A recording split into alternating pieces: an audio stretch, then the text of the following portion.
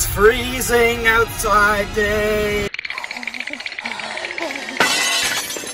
Welcome back to the channel, guys. This is Matt Carter, me my beautiful wife Veronica go to garage sales and thrift stores and the Goodwill bins like today to find things to resell on our eBay store. It is a freezing cold day in Calgary, so we're gonna warm our hands up and our bodies with some coffee before we hit up the Goodwill bins, and hopefully we find some good stuff today.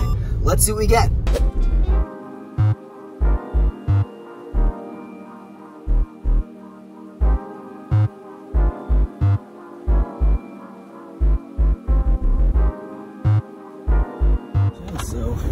Looking at day. I have a bunch of crates because looks like there isn't any that was left from the night before. It kind of seems to be a theme now. We don't see too many crates anymore, but uh, seems that's an interesting Calgary Flames actually. Mitchell Ness, but it's pretty pretty dirty. so someone left it. Um, yeah, it doesn't I'm gonna get super lucky today, but you know I got quite a lot of time because I don't have anything else to do today, so might as well stick around and see what happens. So the first clothing bin arrived and my wife found this 76ers. Really cool. Turn it around. Iverson jersey. Look at that. That is awesome. I mean, it's pretty clean. Definitely needs a bit of a wash, but overall, we don't see any holes or anything like that. No, so pretty good. pretty nice. Yeah. That's got to be at least probably like 40, 50 bucks. Pretty sweet jersey. And a second clothing bin came out just before the very first toy bin of the day, and we actually did score some decent things out of this toy bin. So a few toy bins actually came out, and I didn't have my phone out, unfortunately, but I ended up finding some Jellycats. This cute unicorn here. It's got the Jellycat logo. It's always good to look for Jellycats. Probably the best plushes you can find, besides maybe some good Pokemon ones and some old vintage plush. We also got this dog here, which is also a Jellycat. Really cool. Got some more Lego Duplo pieces. I actually found some Pokemon cards in here. Uh, there's like a foil Growlithe that I'll show you at the end of the video inside here. Not bad, worth a few bucks. And we also got a Tamagotchi. You guys remember these? This is wild. I don't know if it's super vintage or not. No, 2017, so it's not vintage, so it's probably not really worth too much. I might end up putting this back. I'm not sure yet because it's, it doesn't really weigh too much, so it's not going to cost a lot of money. Also got a Lego Duplo car here, and I believe that is it. So not bad for the first toy bins. We're to stay for at least a few more hours and see how many other toy bins come out, and maybe we can keep adding on to the score. But so far, I think my wife has done better than me with that Iverson jersey. Holy cow, someone had it listed for like over $200 on Poshmark, so kind of wild. We're to keep picking today and see what else we get.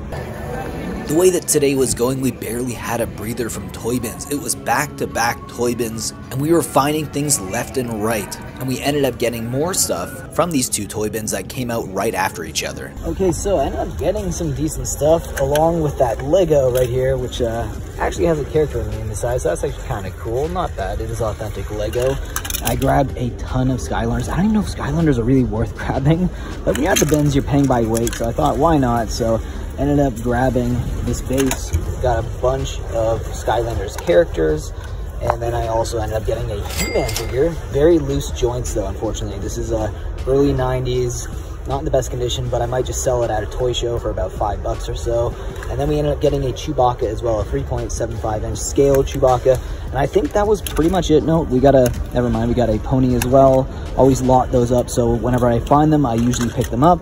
But nonetheless, not anything crazy, just uh, some decent scores. All right, so a media bin came out. We had a ton of video games. Unfortunately, I'm not sure how many we're actually gonna keep. We always uh, scan them, see what they sell for on eBay before. So we got 007 here, Bioshock.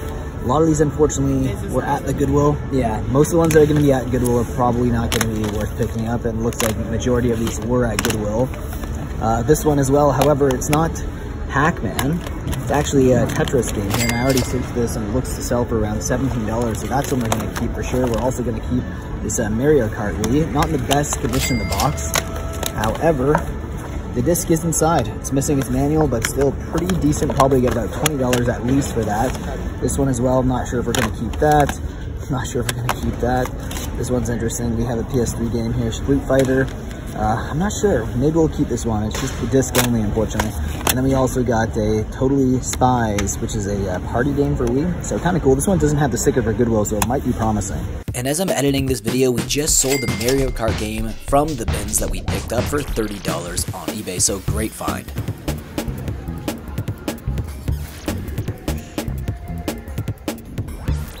And after a few more clothing bins, the sheer onslaught of toy bins continued, and we ended up getting more stuff from Lego to Jellycats and even more vintage toys. I haven't even had a breather to film. There's just been non-stop toy bins. It's unreal. The amount of Jellycats that we got today.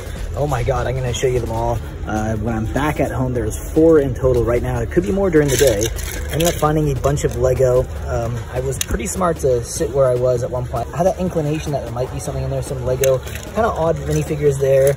Uh, I got some other pieces of Lego, just random pieces other minifigures like this as well. Obviously, I'm to give you guys a better breakdown at home. Some just Lego helmets there. This guy right here is actually from the 80s. At first, I almost put this down because I didn't think it was vintage, but then I looked at the date right there and see KPT 1986. Pretty sweet. So we grabbed that. We also grabbed a wrestling figure here. You guys know who this is. This is Mr. Hollywood himself, Hulk Hogan. So not bad at all. So we've been doing okay. No like unbelievable crazy scores yet today, but still all of these will add up. And I think this Jellycat, I already looked him up. He sells for like over $30 per ounce. So not a bad purchase at all. And yet another media bin came out, and I placed myself in front of a bin where I thought I saw some interesting games. All right, so we stood in front of that media bin. Unfortunately, this is why I stood there, because of these TV sports, and unfortunately, they are empty. However, we did find a Zelda Twilight Princess here.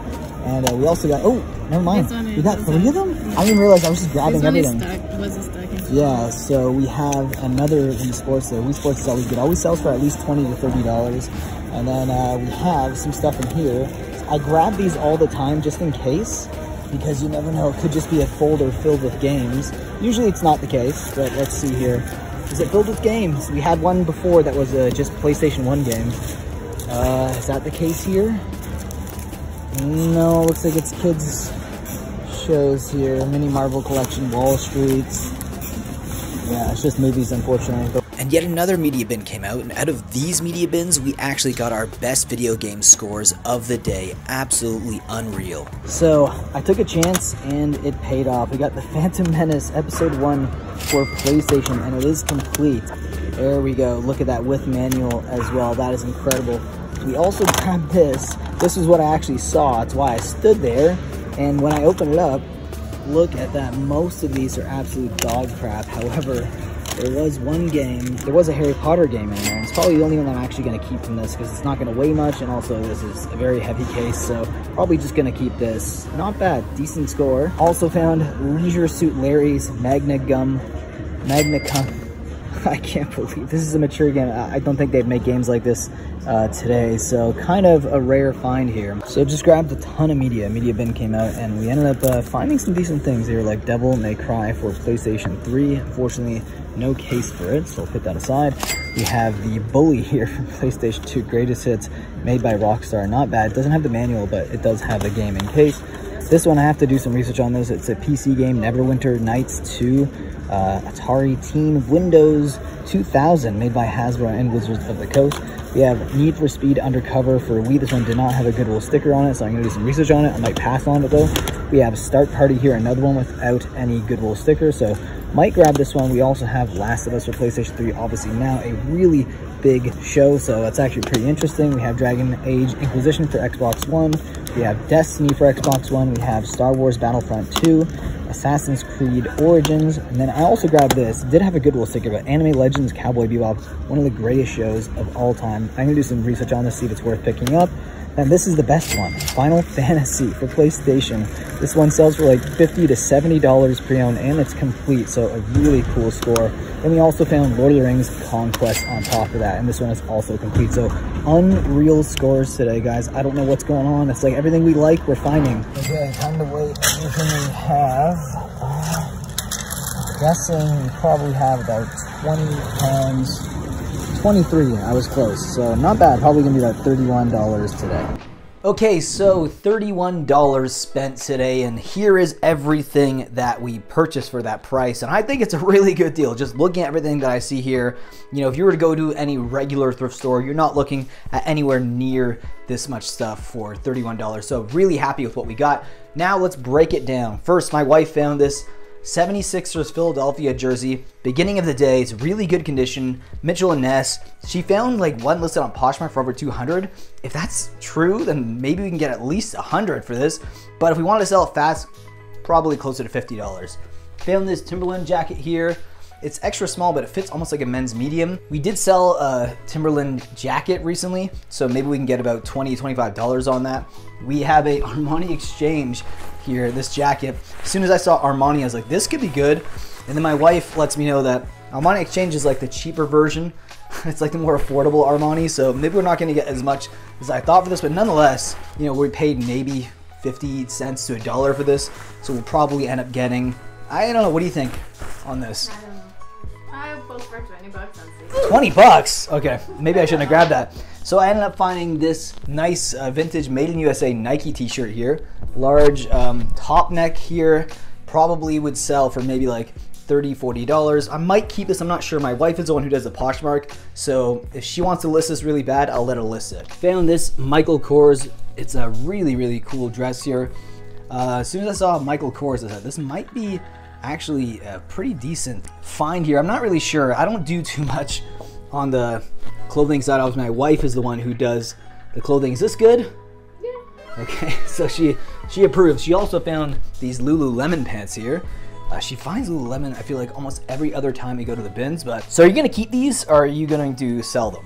That's a bit bigger than my size, so I would sell. So yeah, okay. So nonetheless, Lululemon's pretty sweet. She also found some Fila shoes that are really clean. She's probably gonna list those on Poshmark as well. Then I found all of these.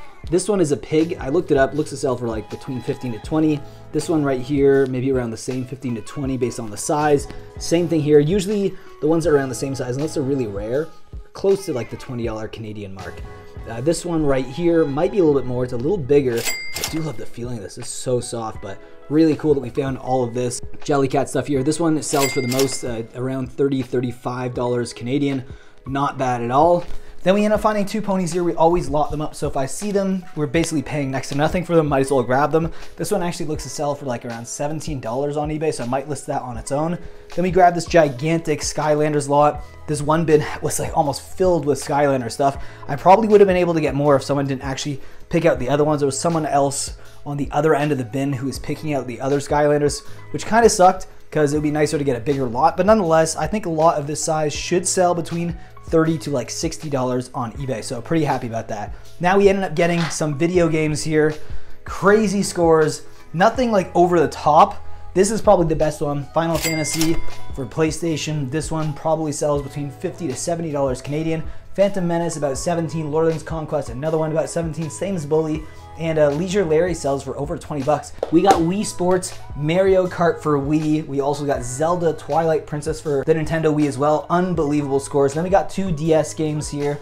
Harry Potter and the Order of the Phoenix and Tetris Party, along with another Wii game, Link's Crossbow Training. This one actually barely sells at all. It's better to just kind of lot it up with the system. So I don't know what I'm gonna do with that. I might just bring it to a toy show and see if it'll sell there. We also end up getting some toys. Um, these guys right here are all vintage. Uh, this one's not as vintage though, but these two right here are from the 80s. And then we also got this Chewbacca here, 3.75 inch. Uh, I don't know, this was in the, did you know that you could grab this? Yeah, so it's not Pandora, but I searched and it does sell. I might try to sell it on Poshmark. It's Okay. just Disney Charms. It's Yeah. Like same style as Pandora, but I'll just see. Okay, cool. Yeah, I didn't know if you got this as a mistake or not, but that's pretty cool. So I did check. This looks to be complete. It's a three-in-one Lego Creator set. Then we got a bunch of Lego here, including some Lego Friends stuff and some Lego minifigures. The coolest one probably being this uh, Doctor Strange here. The cape is actually really cool. It's, it's kind of pliable. First time I've seen a cape like that. Usually they're all cloth capes for Lego. So first time I've ever seen that. Really interesting. Uh, we got another minifigure inside here. And then we have obviously the other three. So five minifigures in total and a bunch of other uh, Lego Friends stuff. And then there's some other pieces here that are kind of like characters, like this guy right here. I don't know if you'd consider it a minifigure, but it is a character. Uh, we got a turtle, we got a moose as well. So uh, another one right here. Interesting. These are two, I think they're monkeys. But uh, nonetheless, pretty sweet score. Almost forgot about this a gigantic bag, about four pounds of Lego Duplo. We always end up lotting up the Lego Duplo stuff, and it sells all the time. I always say that we see Lego Duplo, it'll actually basically, ooh, I've almost almost forgot about this. We end up getting a vintage uh, Army Donatello as well, Playmates, really cool. So, as I was saying here, Lego Duplo basically pays for our trip. So this will probably be about 20 $25 Canadian for Lego Duplo in bulk. There's a, quite a few vehicles there, train tracks, a Thomas Train, also a few other characters as well. Anyways, what a fantastic day at the Goodwill bins. I'm super thrilled with the score we got today, but let me know in the comment section below what was the best score that we got at the bins, and do you think we could have maybe left some stuff at the bins because I don't like to feel like a hoarder, but let me know uh, that as well down below in the comment section. Remember, guys, may your carts always be full.